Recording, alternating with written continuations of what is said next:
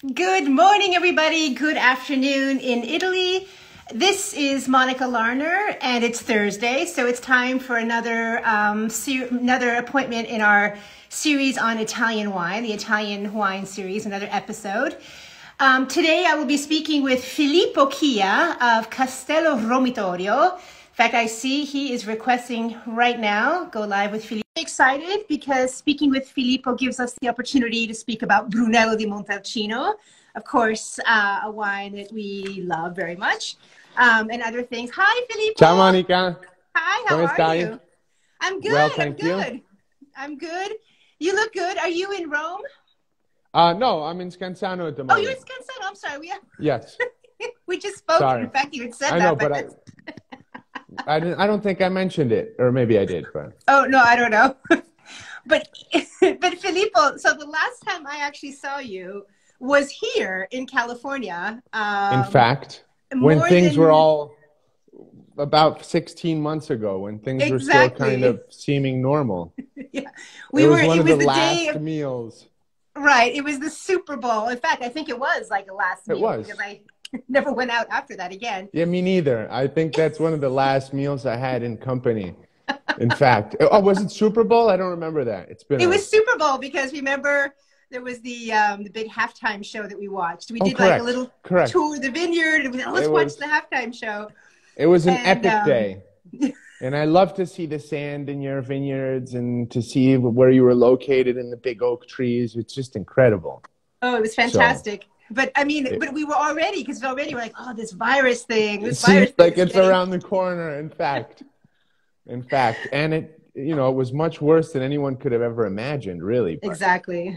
at the Exactly. time, it seemed like, uh, anyway, the calm before the storm. The calm before the storm. Yeah.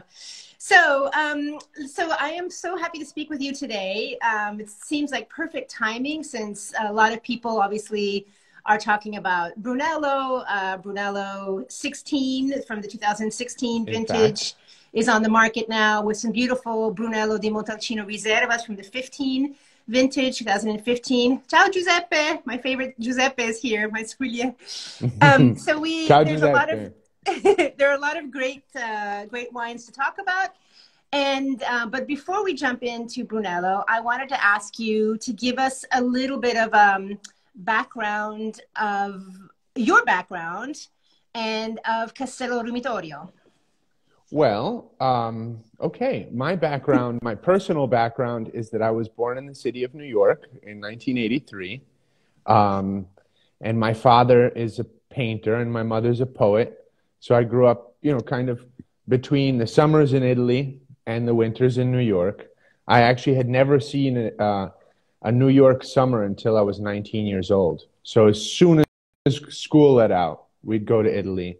And it was kind of like going into time travel because I met people who saw their first car when they were 40 years old. You know, in Italy, we were like 30 years behind, let's say, America, or at least the Big Apple. Um, and what was very interesting, my parents were separated. They both had farms. My dad in Montalcino, and my mother in Lazio, a hazelnut farm, which strangely enough actually has something to do with wine, at least in Piedmont, um, in terms of uh, the way you prune. Anyway, so anyway, I'm just came from an agricultural background, but also with this city vibe. Um, and my summers were spent mostly by myself with my parents. So my way out of, or my way around to keep myself busy was to walk through the forest. My best friend was Orlando Sesti. So I always had my dirt bike and drove to uh, the Sestis um, or, or La Magia. Fabian, he was one of my great friends. So I'd always go dirt biking up that way. And we, we owned an estate in Poggio di So in Castelnuovo dell'Abate, which is in the southeast of Montalcino. So let's say I was always on the dirt bike, always in the forest, always driving around, and that's kind of how I, I, I was able to zone and, and understand how Montalcino works and where where the rivers are, where the hills are, what kind of forests are, what the smells are in the morning and at night. So that, let's say that was like how I really fell in love with with Montalcino was on my dirt bike, and uh, and Dad, you know, bought the castle in 1984. I was born in '83, so as long as I can remember, my first memories were sleeping in this cot in this abandoned castle. And at the time, it had no roof. It had just, you know, the roof had was being redone. But at the time, I mean, it could rain and you wouldn't be rained on. But there was one room that was for us living, and the rest of the house was under reconstruction. And I remember the youngest guy on the team was like 75 years old, the youngest, you know, Mason. And that's where I learned the Montalcino dialect was from these guys with their lunch break.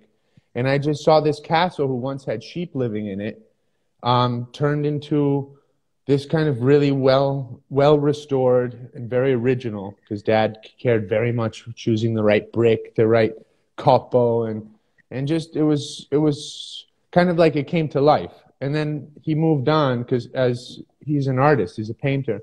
So um, but he had been to california and at the time they planted even in the 80s they were still planting basically with the plow. I mean there was no big caterpillars breaking the earth doing you know, one and a half meter, you know, really preparing the Deep vines rips. as Yeah. deep rips as we were already seeing in the US. So dad was one of the first to do deep rips and one of the first to use wood because before it was mostly cement poles um, in, in Montalcino because there was some kind of similar, uh, you know, it was assimilated to some kind of modernity or functionality. Um, and, and as a child, I just remember this this process of regaining these. There were small small openings in the forest, which I believe had been vineyards at the time, because Romitorio means hermitage, so it was most probably a monastery, but possibly also a prison, because we've we've d- doing some research. It may have been a Roman prison for for Christians running away from Rome, and as you know, um, Montalcino's on the Cassia, which is probably the most important artery Right. for moving from Florence to Montalcino. So if anyone had been going through that part of town or of Tuscany, they'd probably stop over to change their horse, to change their. And so um, in in this kind of very particular location, and there's two navigable navigable rivers, the Ombrone and the Orcia, which were navigable until um, basically I think the 17th or 18th century. So this this kind of crossroads of, of things created in Montalcino very interesting. You know, I think merchantry of all sorts. There was sewing, there was winemaking, there was uh, even though it was it fell into when we were the, I mean in the 60s it was the, one of the poorest comunes in all of Tuscany, which preserved it really well. So there's no heavy industry. Right. There's no zona industriale, which would be like the warehouse district. Um, and in this whole very untouched, unspoiled area, my dad kind of, in a very soft way, just settled in and became the 42nd producer um, in Montalcino. Uh, today we have over 200 wineries, um, some very big, also special interests and so forth. But that said, uh, the original big special interest it was Banfi, who taught everyone in the whole world about Brunello. So Montalcino is actually really fortunate to have this kind of industrial leader. Right. Um, Became an ambassador, especially in the U.S. market. Exactly, became an international ambassador. When I was a child, no one really knew about Italian wine was like flask wine with a straw basket, and even Italian cuisine. When I was a kid, I really remember like the change between the early 80s and the late 1980s and the early 90s when Italian food became way more interesting than French food. I mean, not that French food wasn't, No, but but French it- food no. was the top. There was nothing that could even come close It was the reference with- point. Yeah. it was a reference point. So I guess between seeing this and happening in New York and kind of all this ancient energy in Montalcino, um, I, I, I'm sure that Dad was, a, you know, a positive kind of catalyst in helping Montalcino and be known as well. Some, you know, we were small, we're tiny, a winery compared to some of the bigger guys. And at the time, Ezio Rivella, um, Gianfranco Soldera, which was dad planted with help of Gianfranco. So the first vineyards we did are three meter spacing, um, 90 centimeter from one plant to the other. So today that would be considered very wide spacing, almost too wide. Um, and only Sangiovese available at the time was the classic big berry Sangiovese. So now it's kind of taboo to say Sangiovese Grosso. Right. But um, in fact, Sangiovese, the original Sangiovese from Montalcino, tended to have that bigger berry. Um, and that's what most of the original plantings dad did there at the Romitorio. There, they weren't much. I mean, it's eight and a half hectares of Brunello at the time. Um, and dad being a painter and living in New York, it was kind of like his more of a hobby than a, than a you know life dedication. Um, but yet the place had a character. There was for sure a character of Romitorio, high altitude, um, very light wines at the time, but also the climate was completely different. So today we find ourselves a bit in, in, a, in a situation of, um, anyway. Of, but for those, I mean, just to, a, a word on the castle and your property for those who perhaps haven't seen it, or I would actually urge you to go look it up on the internet. It is probably one of the most fascinating properties and castles in the whole area.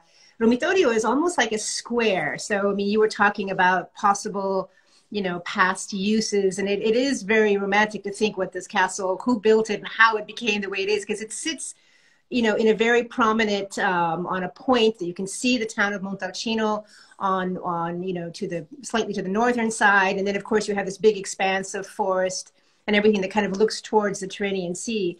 And you are in exactly. one of the kind of cooler areas, higher altitude, but it is a very yes. special place. And, and even the, as I said, the architecture of the, of the castle is just completely, it's just crazy. Well, it's, it's, it's uh, it was probably, completely unique. It's very unique. Um, there isn't one wall which is parallel to the next, so it was probably made for deflecting cannonballs or arrows. There's all the feritoie for you know protecting the castle. So it was definitely um, a fortified farm at the time. Um, the what you can see, seeing Siena and Montalcino being in the northwest, um, we're right above the Montosoli Hill. So we go from Val di Cava, which is you know the valley of the of of the quarry, basically, right. which is an old stone quarry, going all the way up, and we have 200 hectares of forest. So it's very, very um, protected. And our only neighbor is the Loacker family, who's a biodynamic. Um, and we've also been for the past 10 years. Today we're getting certified. We'll be certified in two years. But it's kind of like a, a little triangle of forests and rivers and this incredible view but we're also very protected from the winds of the sea because you have to think that there's basically a Y, a main river coming in from the sea, and then it splits into the Ombrone and the Orcia right uh, where Banfi is. So that's like a, a big, like if, as if you severed Italy and just the warm winds from Africa just plummeting. and and at the nighttime they come down from the Amiata, which is the opposite direction, and that's kind of what's happening in the south of Montalcino. In the north of Montalcino, it's completely different. We have more continental influences. We're more connected to the Val d'Orcia. Um, so really, Romitorio, this, and the structure is incredibly beautiful. Quadriangular, um, probably had an impluvium in the center of it. There was probably a spring there because it had hmm. to be holed up to being under siege. Um, and when we made our cellar, I found an, I mean, an incredible, like kind of crystal uh, with all these incredible crystals, like tall three meters cave with all these oh just oh enormous. And so there was de- uh, uh, certainly an underground river happening there at the time. Um, and the soils on one side are deep red soils like burgundy. On the other side, they're gravelly. As you go down, they're shale uh, or whatever, galestro, what they, and the different types of galestro. So there's yellow galestro. So it's, it's in, you can tell that it's a mix of all these different compressions and implosions and but it's a magic hill within a magic energy as well. So i liked how you described in, it before an ancient energy. I think that's fantastic. An it ancient certainly energy. is. It certainly is. And and architecturally it's something unique of in its kind. I think there's nothing else that i've ever seen in my life. It looks more like tibetan than than something from oh it's totally crazy. And in fact i can see you know someone with your father's aesthetic you know um you know uh, priorities you know uh and even you know in in in uh, Filippo's father Sandro Chia and his paintings are just huge and colorful and embracive and warm. And I mean there's a there's a you know quality of light and all this great uh, action going on. So I could see how a place like that would just be an inspiration. Well, that's one thing that's really special about Montalcino is the way the light moves. And it's never too much because of these hills and these gullies. There's just something very magical about any part of Montalcino. it's it's like an island of magical light because it is an island. It's cut off in three on three sides by rivers, and each area is quite different. Crazy, you know, uh, soil variation and so forth. But the thing that ties it all together is the way the light moves. And if you see, you know, if you have the privilege of being there for long periods of time, the sun obviously you see that move because over the summer it's in one position and the winter's in a completely different position.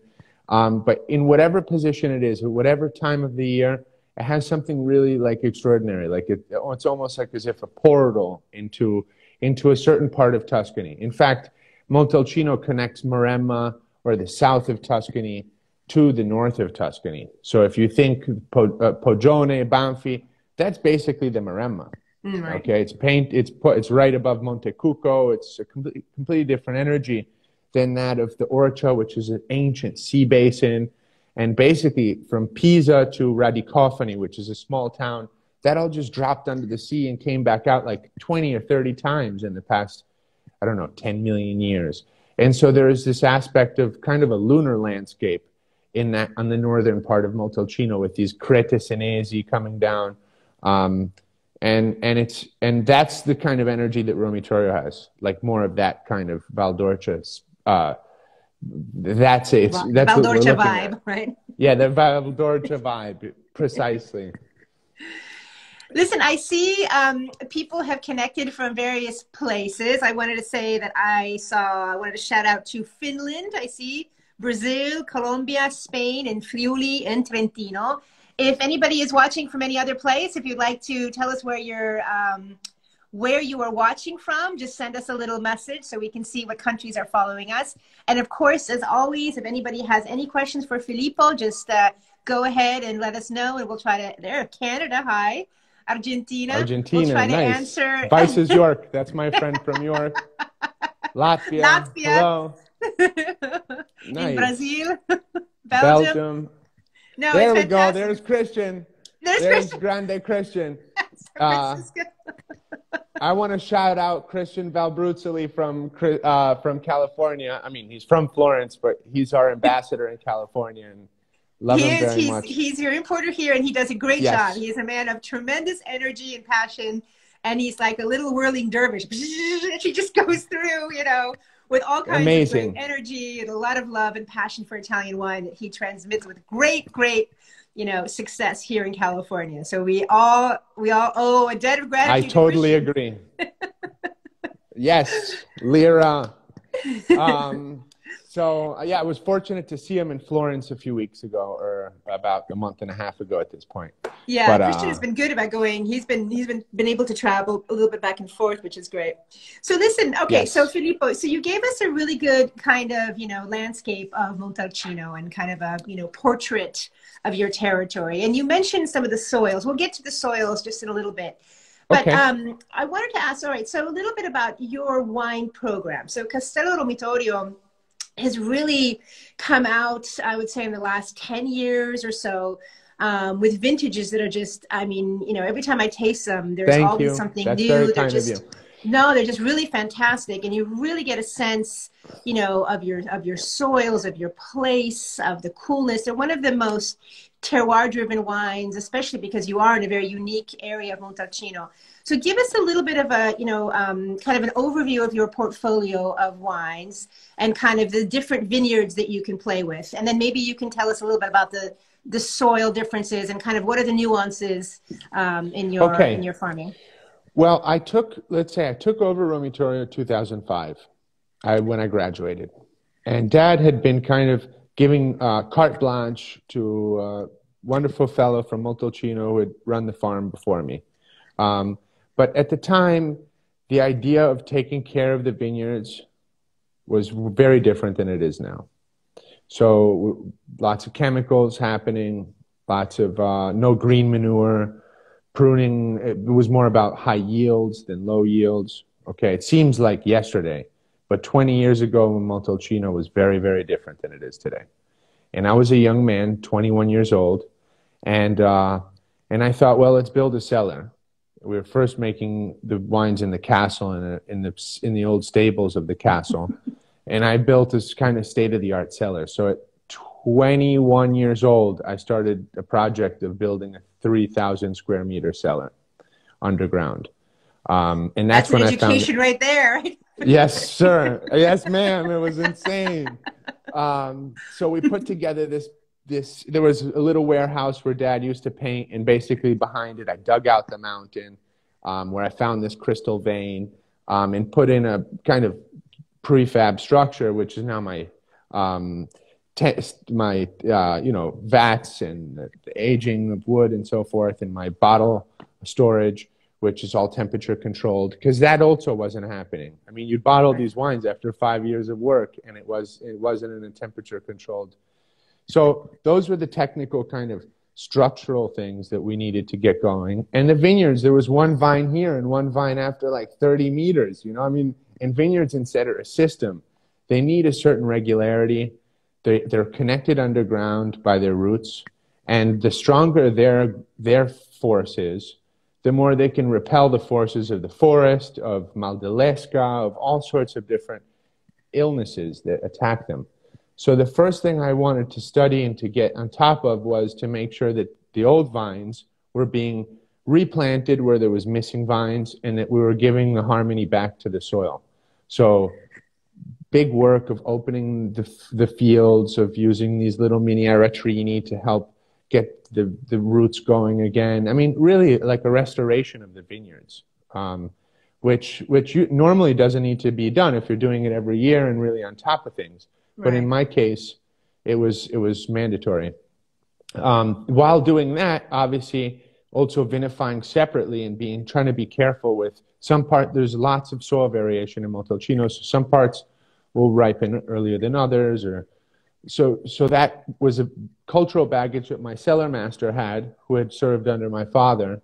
But there's something about the character of the producer, and the producer need to see, see it and taste it with his own. So let's say the first five years were were these kind of these kinds of tests and getting things back on on on the road. Um, and then we decided to I decided to plant a few hectares of vineyard slightly differently um, with much more intense um, spacing. So 270, 70, or 270, 80 compared to three meters, 90. Um, so, so that was kind of a, a Franchetti style planting um, in terms of, uh, you know, it's what Andrea had always been doing. And I thought, well, the higher density, higher density, we might be able to get a little more power out of that, and so on and so forth. It was a great idea because my first planting was in 2006 um, again in 2008. Today, those vines are like 15 years old. Or no, 2008, they're 14 years old. So right. whatever, we're into. So, so they're just giving that kind of uh, very, very, very, very interesting um, fruit that that probably is necessary for moving forward and has been a revolutionary because uh, revolution for all of us. Like Francesco from Canalicchio started planting in the same way in his zone and all the young guys that are my young, I mean, we're all like almost 40 now, but when we started, we were 20 and we were young, kind of had inherited this stuff from our fathers who had done a great job, all in very, varying ways. But um, that's the, and there we also planted some new clones. Um, and those were the clones more based from Chianti, so smaller berry clones. They didn't tend to swell with rain. Um, and, and you know, had slightly thicker skins, more seed. So that was one of the things that I also, I also started implementing. And so the old vineyards with this big spacing, with the big berry, zoning those and planting some of these kind of newer clones. Um, and basically, just trying to understand what could be done with those grapes and how they reacted in the cellar. So we, we, we moved to open uh, tank conical uh, conical stainless steel tanks, which then I integrated also with cement eggs. And it's all um, mechanical push down, so we do very few pump overs. It's, we don't um, use any pumps in the, in the winery before um, the, like the grapes get dumped into the tanks rather than pumped right. into the tanks. And uh, whatever, hand selection, we don't have any optical, uh, optical bank, so it's all done by hand, which I think is really important as well but we do destem. We have like a really good probably we have the same destemmer that Gianfranco had, which is like comes from France, top secret, whatever. this special machine you got to wait years to have, and so forth. But so I have certain things that were, uh, were tools that help to really make sure that what came into the vineyard, came in from the vineyard, was handled the best way and preserved in the best way, and the fruit was just you know, never, also the choice of yeast took years to figure out exactly because we inoculate um, to make sure that we had just something that never overpowered our Sangioveses. And it's different than maybe what someone else, whatever, in Cerbaia or in Castelnuovo dell'Abate will be using. So we have very thick skins. We're one of the last to pick in Montalcino. We go from 500 meters to basically 200 meters because we own the whole mountain. And all our vineyards are in these little enclaves in the forest. And so there, um, I had, let's say, to find a general formula that really kept the character, which is also my character. I started when I was young, so I wanted to make wines that weren't sleepy and mushroomy and like barky.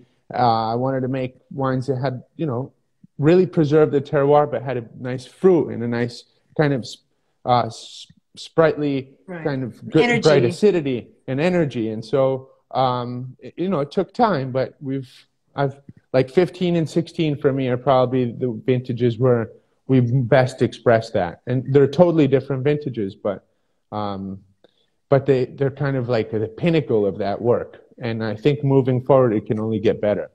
Um, and also with the climate change, maybe 10 years ago or 15 years ago, Romitorio may have been a little cool um, compared to other areas. So there wasn't that kind of power that you'd get out of other parts of Montalcino. But now with these, you know, temperatures changing, um, especially daytime temperatures, it's it's you know grapes are ripening much faster. So to de- delay that is one of the keys. I mean, great Sangiovese comes from all of Tuscany, also from Corsica. I went to Corsica last year.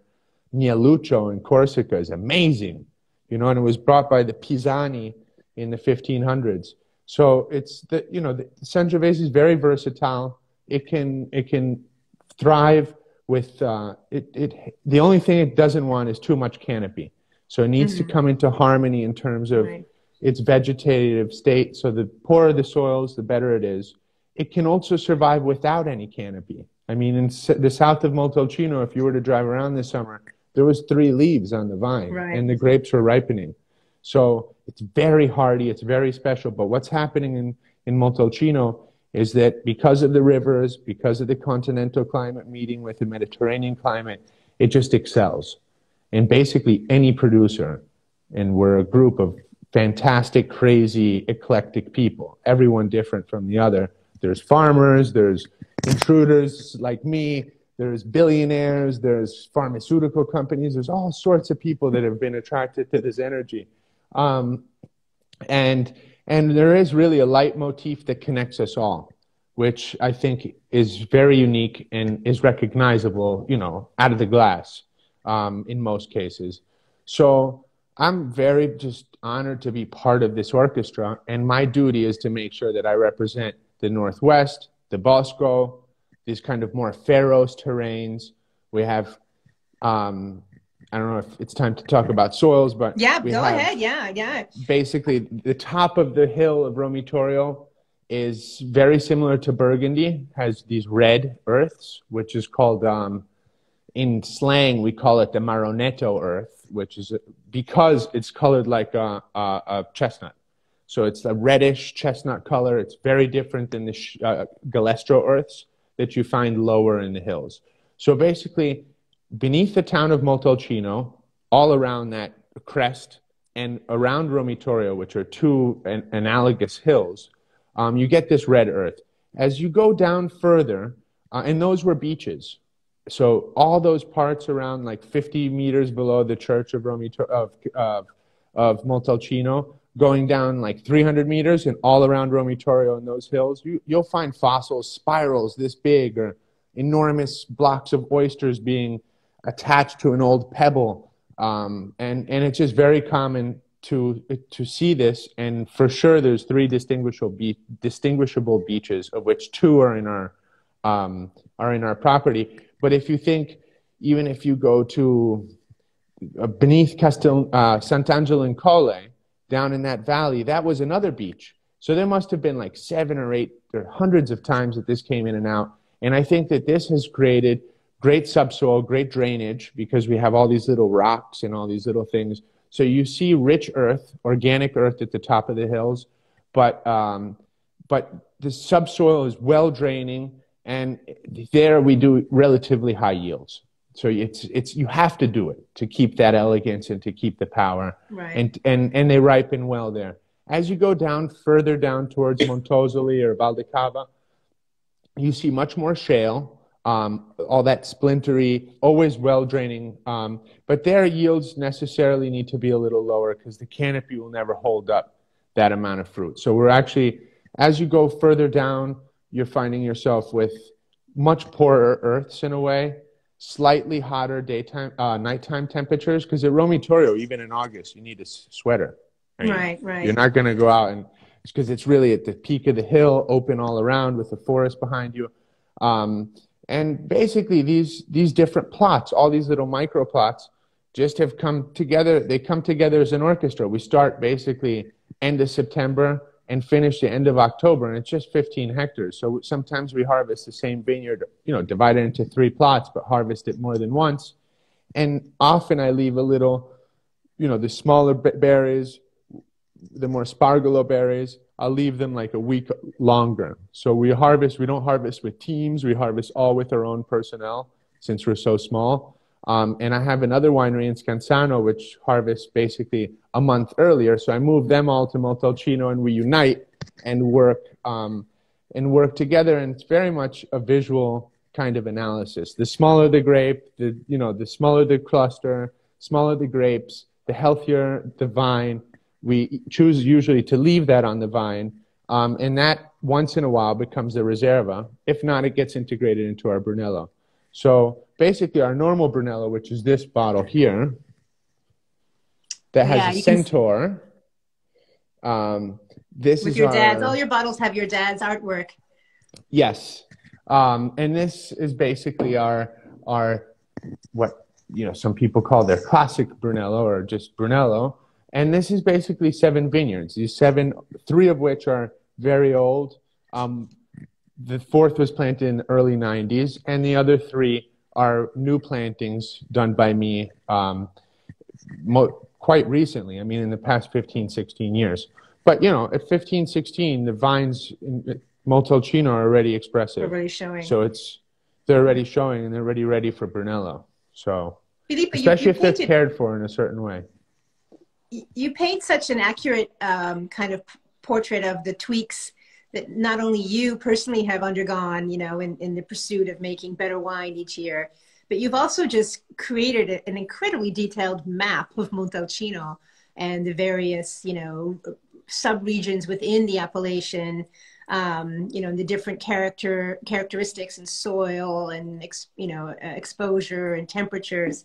So I mean, it's it's really it's it's you know it uh, obviously inspires the thought of how much complexity we still can draw from this appellation and how much more there is to learn and how much there how much more there is to express, especially as we begin oh, to absolutely identify single vineyards that react in, in certain ways. And I know that there's been a lot of discussion about you know trying to create a, a map of Montalcino that might show subzones and whatnot. But obviously, you know, from from all the information you've just given us, it's so compelling to be able to see Montalcino not as a monolithic wine region, but as many little parts that work together in this harmony. In fact, just like you, it, like it is. Described. It's totally that way.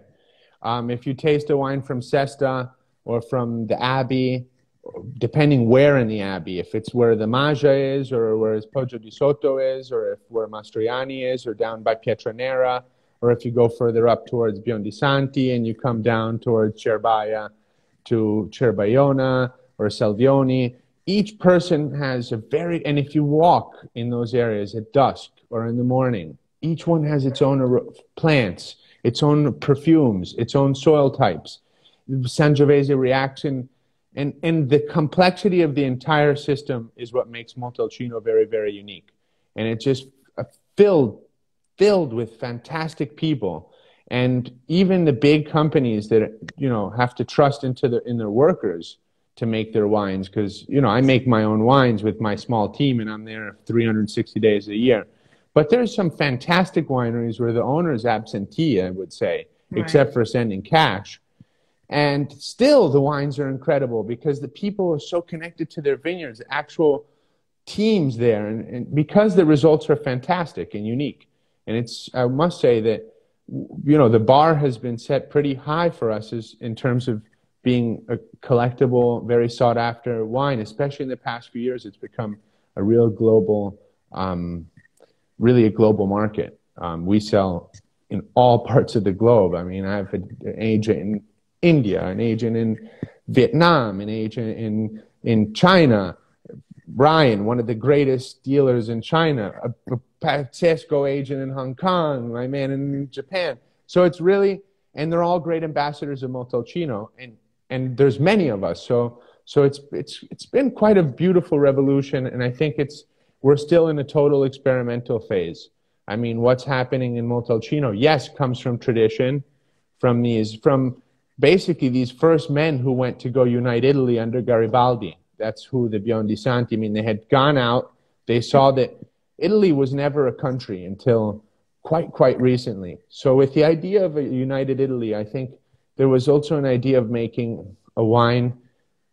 Yes, the, the area was special for making wine, but it was also a conceptual idea. And the way that they built it and the way that they, they hit the nail right on the head.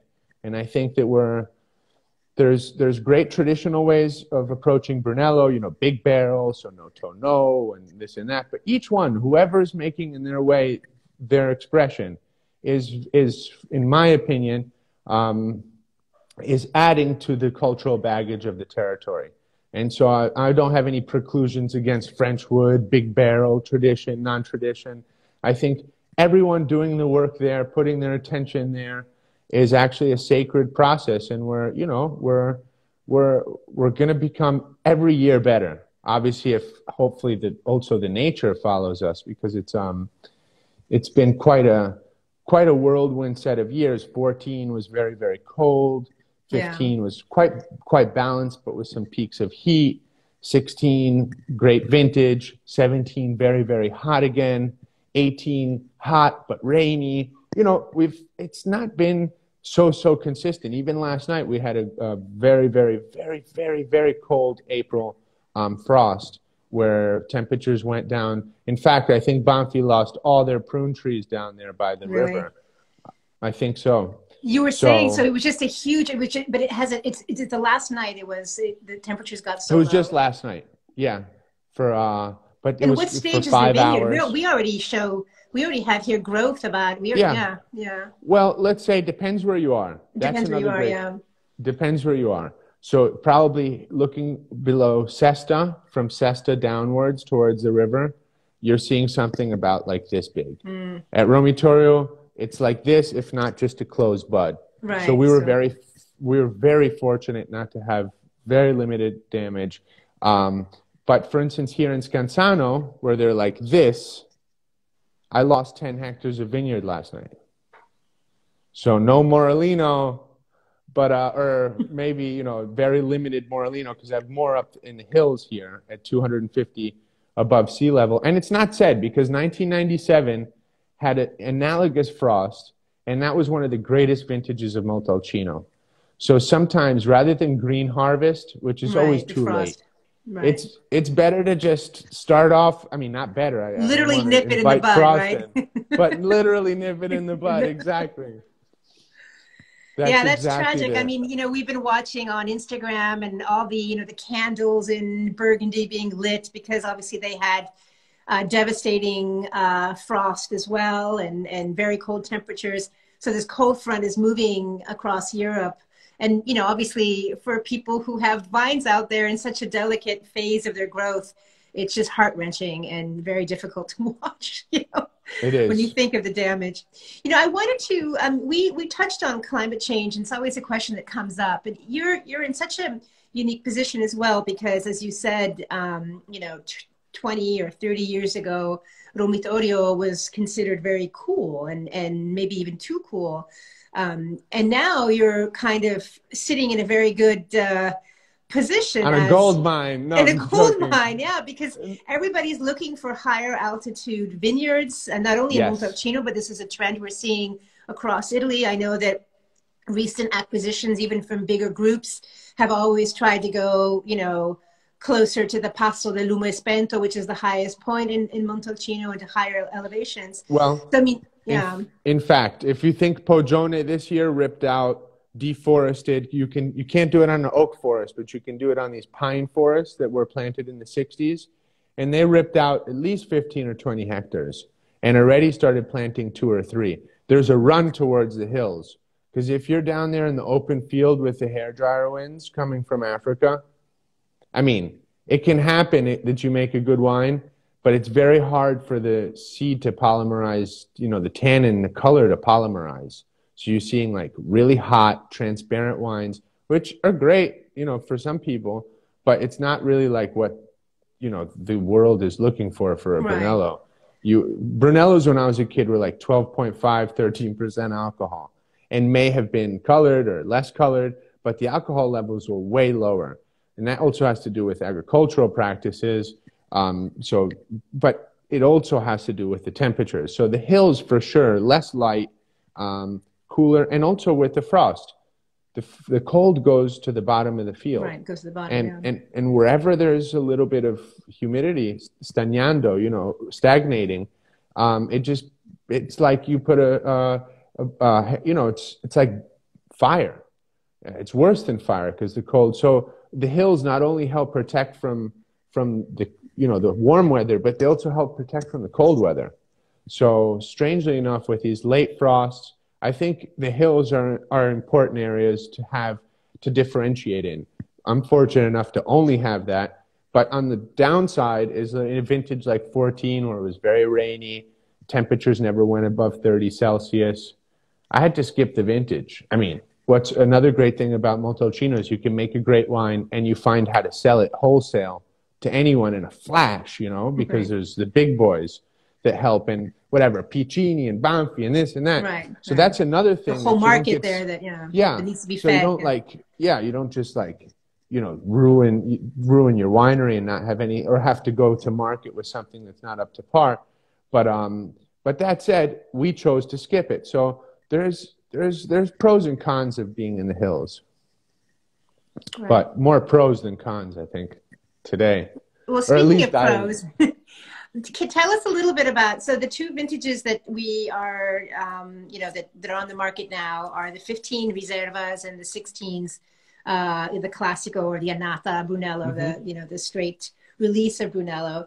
Um, I had the great fortune of reviewing uh, many of these wines a couple of months ago, and they really are spectacular. I mean, it's it's such an incredible thing to watch the growth of the quality growth of uh, of uh, Brunello and Montalcino, and and the you know the the unity of the producers, the way that the appellation is beginning to work in harmony, and a lot of a lot of good uh, good you know good ancient energy coming it's in true. from. no there is. No there is. And i think i mean i made uh, single vineyard in 2010 the filo di seta.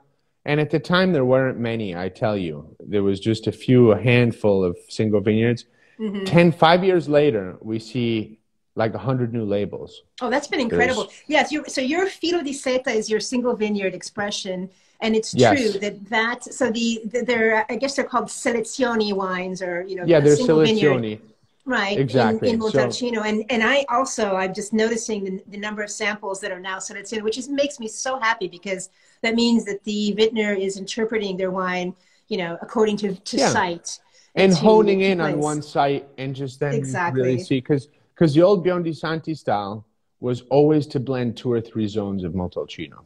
Mm-hmm. So he'd have Le Chiuse, he'd have Biondi Santi, where he's at there, he'd have another one in Cerbaia, and it was always the balance of these moving into, you know, a more of a single plot mentality. You start Right. seeing these, you know, filoconduttori, so the, you know, you leitmotifs that connect the wine not so much on balance, but really on site specific zoning. So that I think is very interesting. That's one of the good things that's happened. Um, and 15 honestly was was a warm vintage, I think a vintage that um, in the Reserva qualities and the single vineyard qualities are probably very collectible. But the straight 15s are wines that you know you want to drink, and you you you're, are probably much more approachable for drinking today and for the next two to three years. While 16s are have, in my opinion, um, wines that will last like 30 years and need much, much more time or need to be opened and decanted at least 24 hours ahead of time, if not more. So 15, the way I see it, at least my result was, you know, these beautiful, very approachable in a way. Wines that not that they don't have a long life ahead of them slightly more alcohol in 15 compared to 16 slightly less color in 15 than 16 um, but both fantastic vintages and two that should really be compared and will be compared for a long time. And i don't think there's anywhere in history where you have like 97 and 98 no. Right. uh, 98 99 no. To 99 maybe 99 in 2001 type thing those two but you skip a vintage so i don't know they're there's they're particular because of this whole also knowledge coming and, and awareness around sangiovese of your harvest time before Clones, people as you to- mentioned. the clones, but clones, also yeah. before people used to pick the grape and say, "Oh, it's time to harvest." Now Right. we go to the lab and we look at a hundred different numbers before harvesting, and to really understand when you're peaking with your tannins and this and that, there's this real much more science behind it now. Back in the day, it was like, "So Franco, what do you think? Like, is it Right, time right. to harvest?" What are you picking? Right? What are you harvesting? exactly. So now we're. Felipe, you uh, might have. My dog Tapo is just barking. I know that Tapo's Oh, come to I love visit. Topo. He's out here love barking. I don't know if you could hear him. He was kind of I can. at the window. well, if you want to let him in, I'm I'm happy No, to no, wait. it's okay. No, he's. I usually when I do these, I try to keep him in the garage or something because he does that. He stands at the window and starts barking. Oh yeah, he wants attention. I have he wants attention, exactly. He wants attention. I just bought a little farm here next to to my farm here in Scansano, down by the river, like a Maremma Bonifica house from the 50s that you know was bona fide by uh, the Army Corps of Engineers after the Right. war, by the U.S. Army Corps of Engineers. The Maremma. Maremma wouldn't exist if it wasn't for the U.S. Army. So they gave us DDT and all these chemicals that to get rid of malaria. Um, It was a anyway, so this- marshland, yeah. Maremma was, was a was marshland.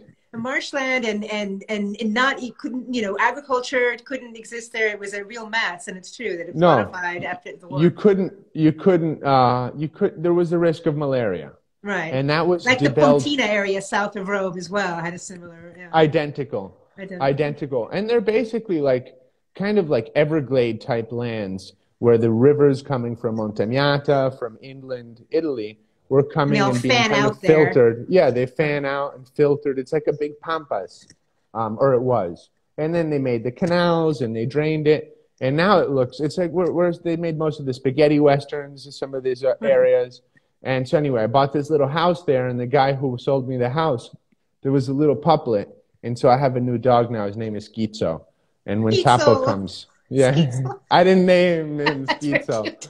the, the old owner gave him this name but i'm very proud of this little pupster so well, Tapo was actually born, born in Montalcino, so there are a lot of little. i know, remember wine- that wine dogs. Listen, so so tell us a little bit. Okay, so you have this great fortune not only of knowing the territory of Montalcino so intimately, um, and at your estate at Castello Romitorio, but you also have a parallel wine activity in the Maremma. So we're talking about a whole different part of Tuscany, different climate, completely different different temperatures. Um, Sangiovese Yes. basically at the base uh, Well- of many many things too. But you also have more freedom there, so you have you can introduce other varietals. So tell us a little bit about your project there. And also, So- there's such a, we talk about ancient energy. Here you are, right on Etruscan, you know, um, yes foundations, live- basically. I live on a hill where there is a Ghiaccio Forte, fort as in a fort, a fort where the soldiers hide or protect themselves. Ghiaccio comes from aghiaccio, which is means out in the open, or where where you know where lambs are a laghiaccio. Mhm. Um, and from here, I can see Corsica. So all the hills, the Corsica has 2,000 meter hills with snow. And on the other side, I see the Montagnata with snow. So I'm basically in this incredible kind of circular energy with Giglio right here in front. And it's one of the last areas of Tuscany where you still have Pliocene, Miocene, all the soils from the ancient dinosaur days. Um, as soon as you cross the border with Lazio, which is about 20 kilometers from here, you get all the young volcanoes coming down from Vico, it's Tufo, it's very much younger earth. Here we have soils that are very, very ancient. They're not as deep as Montalcino. Daytime temperatures are much higher than Montalcino, but they're mitigated by this river that, or various rivers, the Ombrone to the north of Scansano and the Albegna in the south. Um, and basically, uh, Sangiovese fares actually very well here because at night it never re- there's great uh, bagnatura foliare, like humidity that comes down from the sea and from the sea breeze and so forth. Brings that moisture, basically yeah. breeze moisture that allows for the vines never to go into stress. And that was great for the Sangiovese. And we planted here most clones from Montalcino, so big berry Sangiovese. Then I planted um, M1, all these Chianti, Flaccianello clones here. I have like every clone of Sangiovese here in Scansano. So this is where I do my testing and I see how things react with the, uh, you know, um, and, and I, there's some amazing potential here, incredible. Um, just before we used to make uh, of all the straws one fascio and make one wine and said now here I really want to start separating each vineyard and trying to get really into in terms of the Sangiovese. So before the Morellino had Syrah and Petit Verdot being put into it as a, what they call corrective wines. Um, and at a certain point, around 2007, 8, I said, you know what? This is neither this nor that. Let's really try to make a Morellino that has at least just one corrective grape. And we just settled on Syrah until two years ago when I decided to take all the international grapes out of our Morellino. So it's going to be 100%, um, 100% Sangiovese. Kind of taking inspiration from Poggio Valente of Le Pupille, from Rocca Pesta, my friend Alberto Tanzini. There's a few illuminated people making some top quality wines here, but the market just doesn't know how to absorb it. So you have to make the everyday Morellino, especially because wines that mostly stay in Italy, these wines. Mm-hmm. Um, they're drank by locals. And a lot in Rome, in Rome. yeah, it's a huge, mar- yeah. Exactly. So, I mean, 30% of my production goes to Rocky, my distributor in Rome, which is like containers go to Rome, you know? So, that said, I I also wanted to make an export kind of quality Morellino. And at first, I had separated them into two, and now I just make one 100% Sangiovese, which is a Ghiaccio But to make to make something that made sense with the Syrah and the, and the Petit Verdot, which were exceptional, great acidity, um, great pH, wines that are built for long-term aging. Um, actually, sometimes need need a great deal of time. Some vintages can be approachable. I came up with the RomiToro because that was which was first called Il Toro. Then, as you can imagine, you know, some people from Spain and this and that said, "Hey, what's going on? This is totally like is this that, name yeah, so right. much." So, The bull, so the after bull, 10 right? years And, and the label shows a kind of a bull. a bull. Yeah, I don't have it here, unfortunately, but um, The big, But- bold, modern label, really cool. Yeah. yes, I wanted to tap into that, you know, to a bold pop energy with uh, super, I don't know, white label, Right, red clean capsule, graphics and yeah. clean graphics, and it was it's a hit. It's my it's one of our best sellers globally. I sell it all over the world, and if you compare that to Bolgheri, you know, the big kind of Il Bruciato or Le Volte or this, it's like it, mine is harvested by hand. It's just made with love from those vineyards. I'm just saying that it's a it's a category that's very sought after international blends from the coast. And I thought, well, let's make one that's unique and and that sums kind of up two uh, river climates, and both let's say Petit Verdot and Syrah thrive along the Gironde River, one along the Mediterranean, so that would be, you know, Côte du Rhône and so forth with the Syrah. And it's rocky soils we have here. So I thought that makes sense. And how about the Petit Verdot up in, you know, in Bordeaux, in more Medoc? It was brought by the Romans to Medoc, Petit Verdot. So it's a very ancient grape, Petit Verdot, much more ancient than Merlot and then other stuff. and it's very hardy and it's very heat resistant, incredibly heat resistant. So basically, like just now, I just planted four more hectares of Petit Verdot and two more of Syrah, and just working with different clones, different rootstocks, different soils.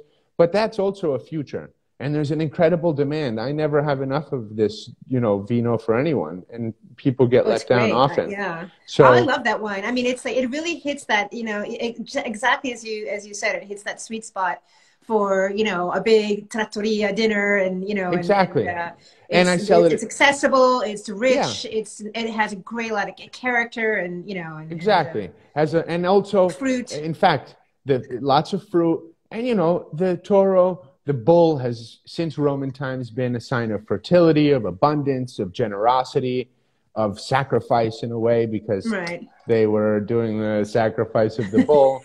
and uh, so I just thought, well, what better image to, to and it's, you know, it's like 24, whatever, $25 wine and, or 20 euro here in Italy. And it just, I can't make enough of it. So now I'm planting more, I'm moving towards that and it's it's just a fun parallel. I love making wine. I love what I do, and the longer I can protract this, I basically do two harvests. One starts at the very very beginning of September here in Maremma. I do that for 20 days, and then I move on to Montalcino, and let's say I'm you know quite. Uh, it's kind of like practice for Montalcino in a way, and a warm up. Right, warm up, um, warm up, in have, uh, yeah, Scansado we have cellars then, in both. Then... Exactly, literally warm up because sometimes here it's always you're working with the really bright sun and a totally different vibe of harvest compared to Montalcino, which, as I said, you have your sweater. It gets cool in the afternoon. It's you're harvesting under really full full sun energy. While in Montalcino, it's very rare that it's more of almost a fall energy. So it's true. Yeah, it's true. It's the even the light, you know, and the and the light is totally different, and uh, and and I think the longevity of the wine somehow are affected by that. I think that Sangiovese, one of my deductions is that Sangiovese, if you can protract its ripening, the later latest possible, that's where it really gets really elegant and really starts to sing. And Sangiovese is a grape that has so much to do with chiaroscuro, the way that a lot of it is about the vintage, about the temperature, but it can the same grape can be dark, uh, very, always brick colored. I mean, always tending towards warm colors, never violet. Very rarely, only one clone of Sangiovese is violet. Um, usually they're brownish colors, but anywhere you get it, even within the city of Montalcino or within here in Maremma, they, you can leave them on the skins, macerate for you know 12 hours cold maceration, or do 24 hour or 48 hour cold maceration. Then leave it on the you know depends very much on how on how you work it, both in the cellars as in the vineyard, and it can express a big, powerful dark wine as well as a really elegant, you know, kind of ballet dancing, bright cherry. And I don't think that one is better than the other. I just think that there's so much versatility there that um, that is interesting. It's just such a funky grape. The most important thing is to always keep it, you know, fresh and and good acidity, natural acidity, and but if you we see so much variation even within Montalcino, if you think uh, stylistically, it, it really it really it really loves to be I don't know accompanied by man and reacts to how you you work it.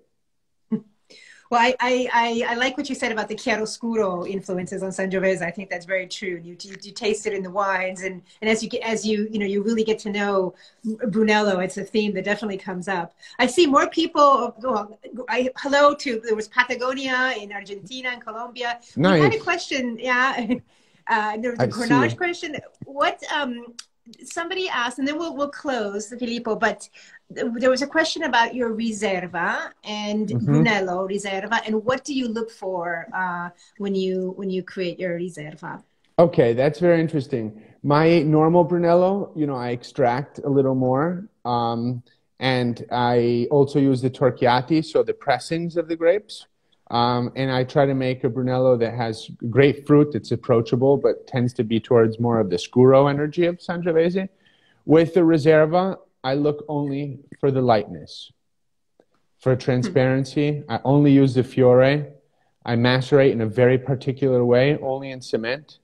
Um, I'm not going to tell you exactly how I do it because I wouldn't want some of my competitors to, but there's a very particular thing that I do to keep just the lightest and just the most dancey. It doesn't mean it won't have the same dry extract as a normal, you know, as a dark Brunello. It has actually a 30, my 33 dry extract. Incredible. But it's right. very light and transparent, almost like drinking. It has to dance on the palate. Right. It's lifted to, and ethereal. It's lifted yeah. and ethereal. The more, there it is. The more ethereal the Sangiovese, the higher the quality. So that's the way I and think of it. I, I, you know, some try to make their reservas like like a rum almost, like over oaked and very mm-hmm. heavy, and put all the power. I think it's the opposite. Power is about ethereal, ethereal, ethereal. It's ethereal nature, um, and so that's the way I think of the reserva, and the way I make it is in a cement tank, open tank. Um, does malolactic in cement. It gets put into a smallish um, uh, Slavonian oak barrel, Botti, which is like 33 hectoliters. So imagine the big traditional ones are like 7,000 hectoliters. So it's half the size of that. Um, it's about 10 years old. And then I do second, the other half of it goes into second and third passage tonneaus, but very, very fine grain, very, very, very, very, very fine tonneaus um, of French oak, um, 500 liter um, and it's monitored over time. And then usually it goes b- back into the entry level Brunello, into the normal Brunello. So I do all this work, and then only once, we've only decided to make nine reservas in 30 years. Hmm. So it's very rare that I usually do all this work and then just reintegrate it into. But in 15, I made a reserva, and in 16, I made a reserva. Um, and, and I did the same thing where the fruit for the reserva, It's a blend of a very obviously. It's, it's a blend of the three vineyards that my dad planted with Gianfranco Soldera, so wider spacing. None of the new clones go into that, okay? Because the new clones, you know, have a gritty thing to them, and they're also younger vines. So basically, on my oldest vines, the weakest plants, the ones that are with the least canopy, with the smallest berries, get left for three days extra and sometimes they actually get picked three days earlier, depending if it's like a rainy vintage or something. I say, listen, mm-hmm. let's take pull this in. You got to always have that. And then it's it's it's it's your choice after three years, more or less, when you start taste. Uh, you taste every day, not every day, but every every month or so, or every two months, you want to check in on your wines.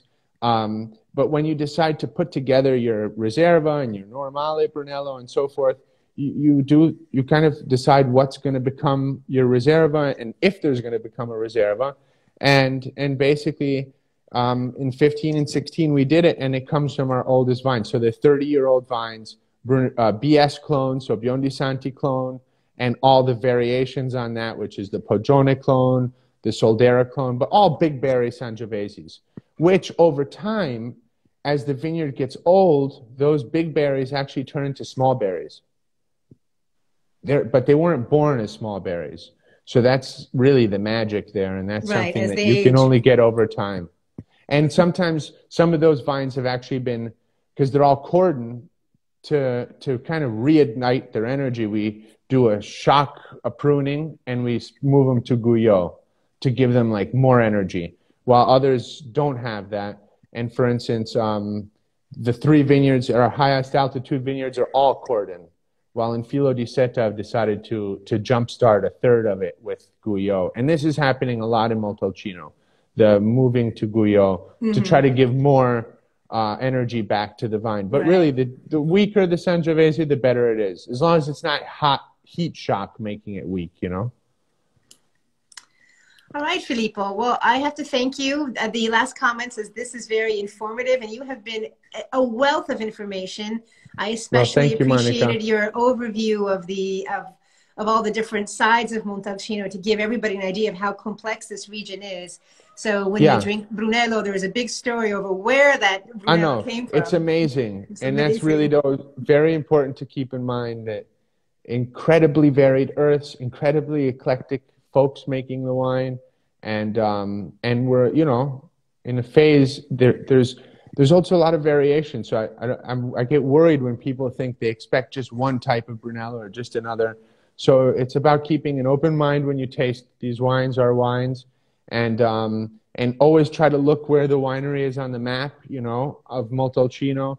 And um, and when you come, drive around and just see how the soils change, how the perfumes in the in the hills change. I mean, Monica's done it for years.